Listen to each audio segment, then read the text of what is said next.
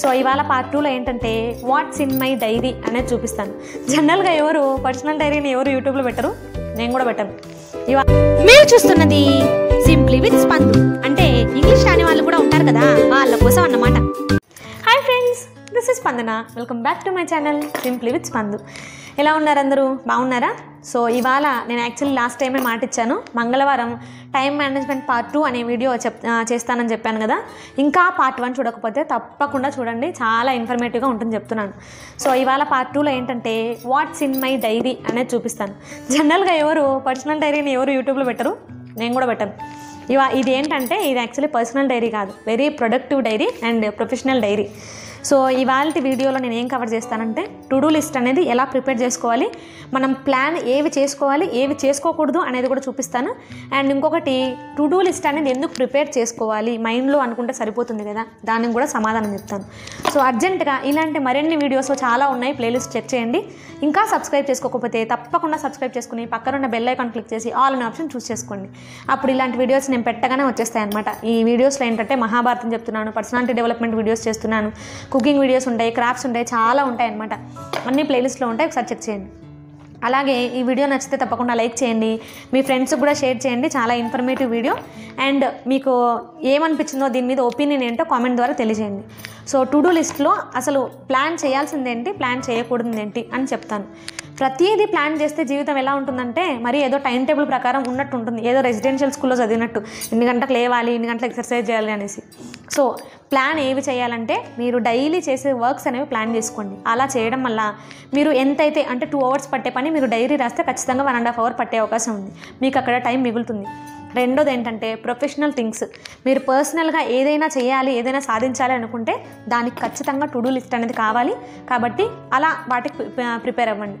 ఇంకా ప్లాన్ చేయకూడదు ఏంటంటే మీ టైం అంటే మన టైం. ఇరవై నాలుగు గంటల్లో మన కోసం మనం టైం స్పెండ్ చేసుకోవడానికి ఖచ్చితంగా వన్ అవర్ ఉండాలి.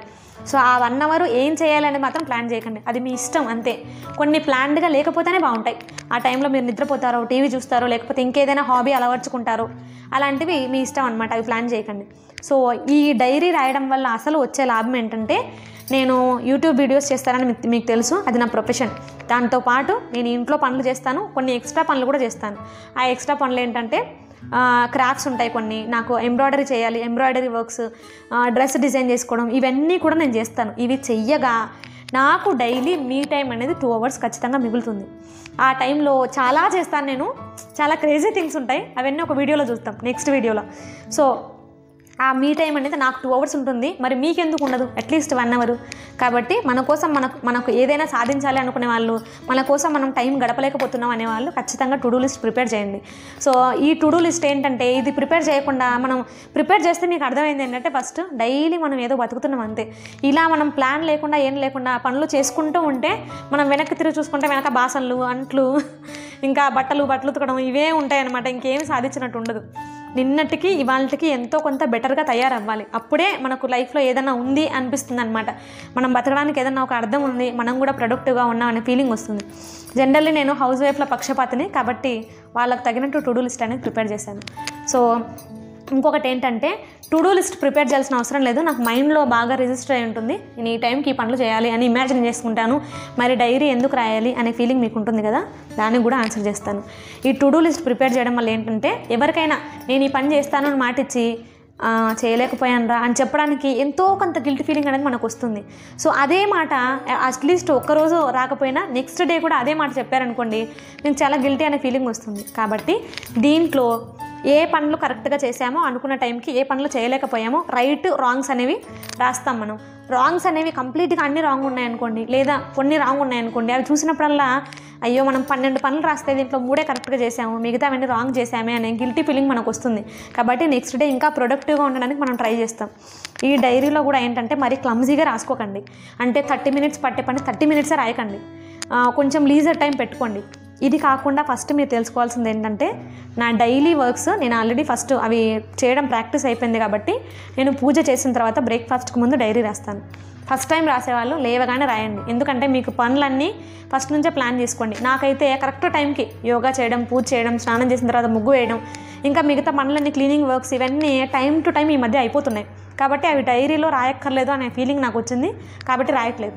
సో నేను ఏ పనులు అయితే ఇంకా సక్సెస్ఫుల్గా చేయలేకపోతున్నానో అక్కడ నుంచి డైరీ రాస్తున్నాను. కాబట్టి ఇప్పుడు ఈ టు లిస్ట్ అనేది ఎలా ప్రిపేర్ చే చేయాలి అనేది రాస్తున్నాను. ఈ టు లిస్ట్ అనేది నేను ఎలా ఎగ్జిక్యూట్ చేస్తాను? ఈ ప్లాన్ ప్రకారం ఎన్ని కరెక్ట్గా చేయగలను అనేది రేపటి బ్లాగ్లో నీకు మీకు పోస్ట్ చేస్తాను అనమాట so keep watching my videos అలాగే ఇంకా సబ్స్క్రైబ్ చేసుకోకపోతే తప్పకుండా సబ్స్క్రైబ్ చేసుకోండి. ఈ వీడియోని లైక్ చేయండి షేర్ చేయండి కామెంట్ చేయండి. సో ఇప్పుడైతే let's get into the video see my diary ఇవాళ డేట్ నవంబర్ టెన్తేనా? సో టెన్త్ కాబట్టి ఆ డేట్ వేసేసాను. టోటల్గా ఇవాళ పేజ్ ఇలా ఉందన్నమాట. ఇంత బాగా యూటిలైజ్ చేశాను కదా ఫస్ట్ నుంచి చివరి దాకా సో ఫస్ట్ దీంట్లో ఫస్ట్ పాయింట్ మీరు గమనించాల్సింది ఏంటంటే నేను ఇవాళ ఫైవ్ థర్టీకి లేచాను. అంటే రోజు ఫైవ్ ఓ క్లాక్కి లేచే నేను ఒక హాఫ్ అన్ అవర్ లేట్గా లేచాను కాబట్టి మిగతా పనులు. బ్రేక్ఫాస్ట్ డిఫాల్ట్గా ఎయిట్ థర్టీకి చేసేవాళ్ళం. ఇవాళ నైన్ ఓ క్లాక్ చేసామన్నమాట అంటే ఖచ్చితంగా ప్రతి పని ఒక హాఫ్ అన్ అవర్ అనేది డిలే అవుతుంది. అది కూడా మెన్షన్ చేశాను హాఫ్ అన్ అవర్ డిలే అవుతుందని. నెక్స్ట్ మీరు గమనించాల్సిన పాయింట్ ఏంటంటే now the time is eight seven అంటే ఇప్పుడు డైరీ రాసే టైం కూడా మనం క్యాలిక్యులేట్ చేసుకోవాలి. డైరీ రాయడానికి నాకైతే ఫిఫ్టీన్ మినిట్స్ పడుతుంది. కానీ మీకు డెఫినెట్లీ థర్టీ మినిట్స్ ఖచ్చితంగా పడుతుంది. సో నేనైతే ఎయిట్ సెవెన్కి స్టార్ట్ చేశాను కాబట్టి ఎయిట్ ఫిఫ్టీన్లోగా ముగిచ్చేస్తాను. డైరీ టు డూ లిస్ట్ అనేది ఎలా చాలా వరకు డిఫాల్ట్ ఉంటాయి కాబట్టి ఈజీగా ఎయిట్ ఫిఫ్టీన్కి అయిపోతుంది అనమాట so do puja by eight thirty. అంటే ఫిఫ్టీన్ మినిట్స్లో పూజ అయిపోవాలి. డైలీ పూజ కాబట్టి నేను ఫిఫ్టీన్ మినిట్స్ కంటే ఎక్కువ చేయను. ఫ్రైడే సాటర్డే అయితే ఖచ్చితంగా వన్ అవర్ తీసుకుంటుంది. దానికి వేరే టైం టేబుల్ ఉంటుంది. Prepare breakfast by nine. Eight thirty to nine అనమాట ఏ బ్రేక్ఫాస్ట్ అయినా ఉన్నది ఇద్దరమే కాబట్టి ఖచ్చితంగా ఒక హాఫ్ అన్ అవర్లో బ్రేక్ఫాస్ట్ అనేది అయిపోతుంది. యాక్చువల్లీ ట్వంటీ మినిట్స్లో అయిపోతుంది. మీరు ఖచ్చితంగా కరెక్ట్ టైం అంటే ఫిఫ్టీన్ మినిట్స్లో అయిపోయి అయిపోయే బ్రేక్ఫాస్ట్ ఖచ్చితంగా ఫిఫ్టీన్ మినిట్స్ రాసుకోకూడదు. ఒక టెన్ మినిట్స్ ఎక్స్ట్రా పెట్టుకోవాలి. ట్వంటీ ఫైవ్ మినిట్స్ పెట్టుకోవాలన్నమాట. సో నాకైతే ఇవాళ గుగ్గుళ్ళు చేశాను నేను. దానికి మ్యాక్సిమం ఒక ఫిఫ్టీన్ టు ట్వంటీ మినిట్స్ పడుతుంది. బట్ అయినప్పటికీ నేను ఒక టెన్ మినిట్స్ లీజర్ టైం పెట్టుకున్నాను. అలా పెట్టుకుంటే మీకు కంగారు ఉండదన్నమాట. అయ్యో టైం అయిపోతుంది. టు లిస్ట్లో మనం రాసేసామే మళ్ళీ రాంగ్ మార్క్ పడాల్సి వస్తుంది అనేసి.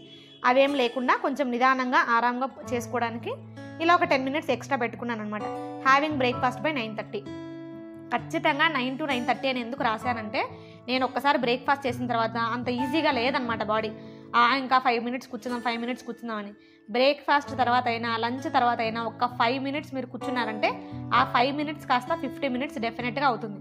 కాబట్టి నేను చక్కగా నేను నైన్ థర్టీకి టైం రాసుకున్నాను కదా నైన్ థర్టీ కల్లా ఖచ్చితంగా మూవ్ అయిపోతాను.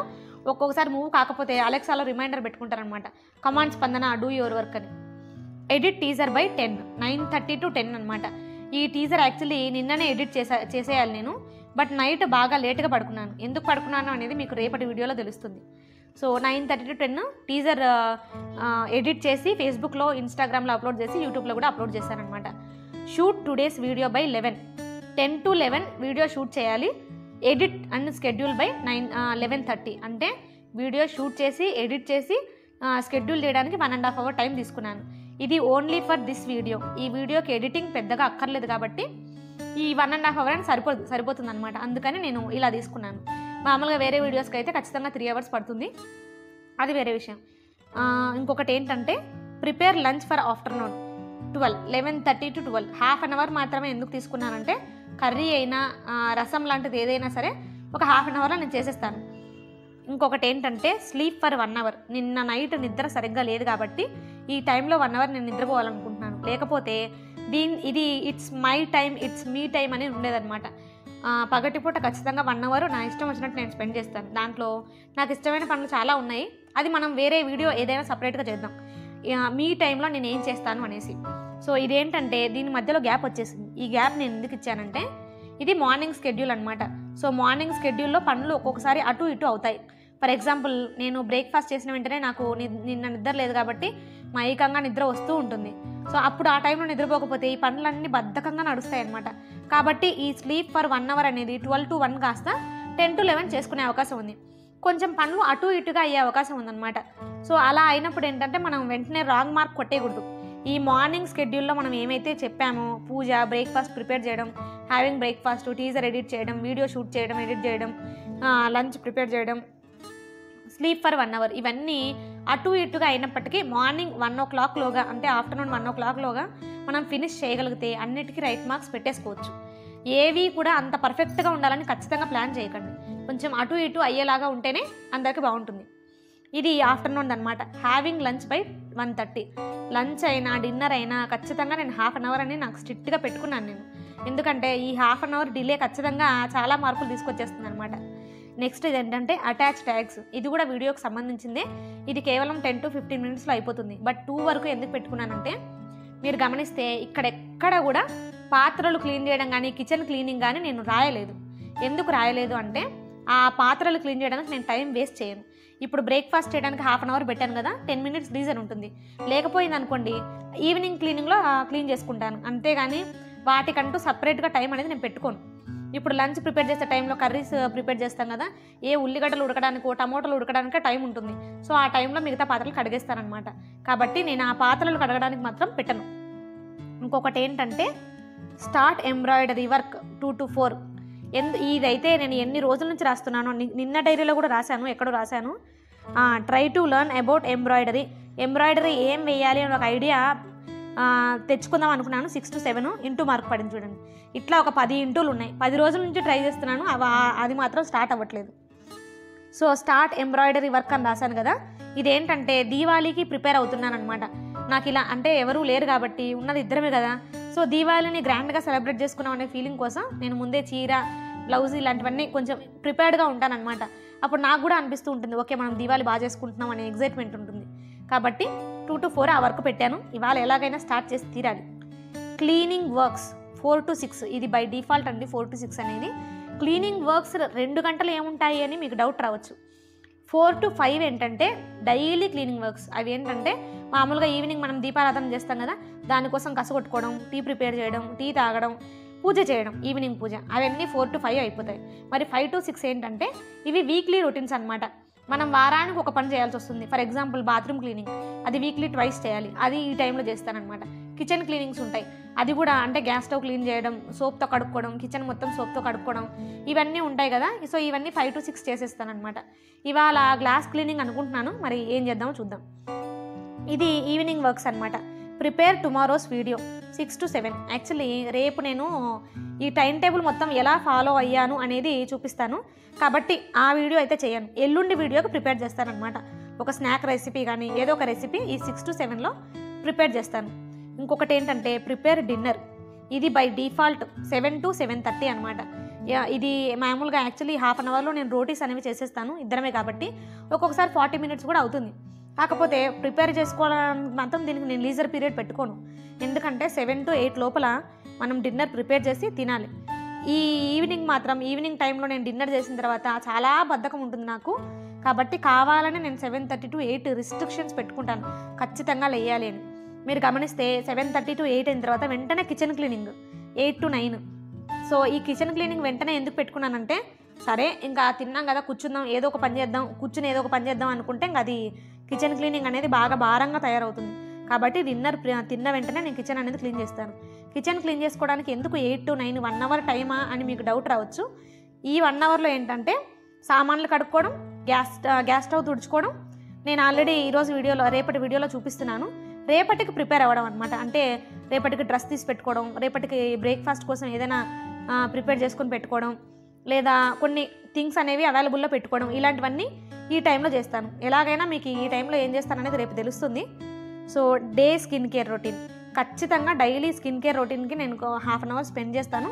Nine to nine thirty. ఈ స్కిన్ కేర్ రొటీన్ నేను ఎప్పుడన్నా చెప్తాను మీకు. సో నైన్ థర్టీ తర్వాత అంటే do some editing work if you have interest. ఇది ఆప్షనల్. అయినా సరే ఎందుకు రాశానంటే nine thirty to ten thirty Bigg Boss addict అయిపోకుండా ఏదో ఒక చెత్త పని చేయకుండా ఆ టైంలో లీజర్ అనిపిస్తే మేల్కుంటే ఖచ్చితంగా ఈ పనే చేయాలని చెప్పేసి ఇలా పెట్టుకున్నాను అనమాట ఇంకా మోస్ట్ ఇంపార్టెంట్ థింగ్ ఏంటంటే should write diary tomorrow. Definitely tomorrow diary రాయకపోతే మనం ప్రిపేర్ చేసిన ఈ ప్లాన్కి అర్థం ఉండదు. ఇందులో ఎన్ని కరెక్ట్గా చేసాం ఎన్ని రాంగ్గా చేసామని అనలైజేషన్ అనేది మనం చేసుకోవాలి.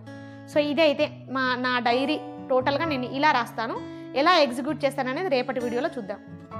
Thanks for watching Don't forget to like, share, and subscribe.